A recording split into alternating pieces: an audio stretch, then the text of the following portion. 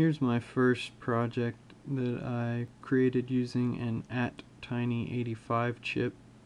This chip was just a couple bucks and I like the idea of having these standalone microcontrollers so that I can make these one-off little projects like this without tying up my Arduino with a bunch of jumpers and I can go on to the next project with the Arduino. This little project is basically a ATtiny85 driven theremin where I'm using this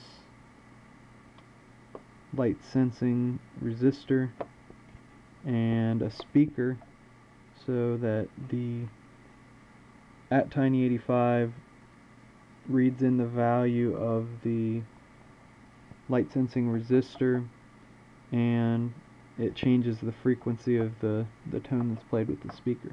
So when I turn it on, it just kind of makes a buzzing sound.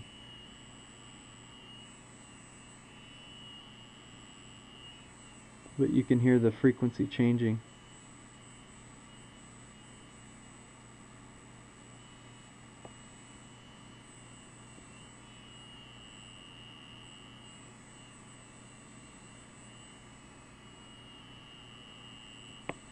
Based on the light that I allow to fall on the resistor. It's pretty neat.